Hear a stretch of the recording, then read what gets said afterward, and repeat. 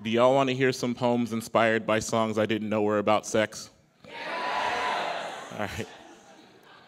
I'm losing my voice, so bear with me, please. This poem is called Faded 2001.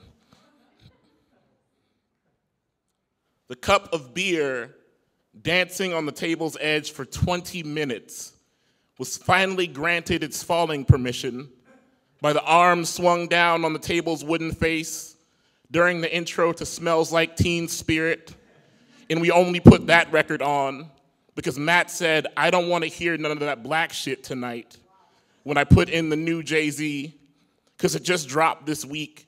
And I turned on the news in Ohio, and all of New York was on fire. And I copped the CD with the money my pops gave me for groceries.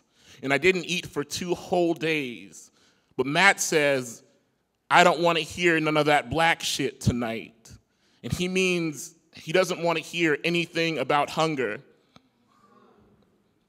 And I shake with a forced laugh when he says, No offense. And I look down and see my skin falling from my hands until they are a shade lighter. And me and Jimmy are the only black things in this room. And Jimmy isn't alive. Jimmy is hung over the mantle. Jimmy is all guitar and no face, or I can see Jimmy's face, but no one else can.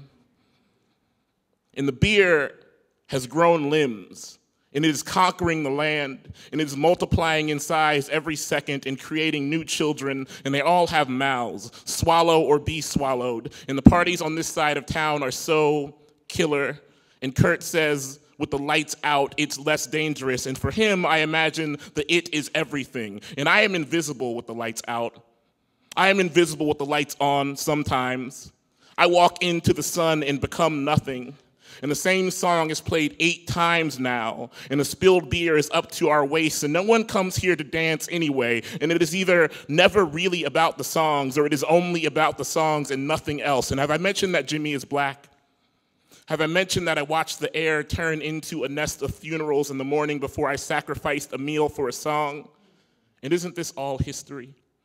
Something wet rising at our feet in a song to make us forget the burning, and a boy rendering us invisible with his mouth. And God, the parties on this side of town are so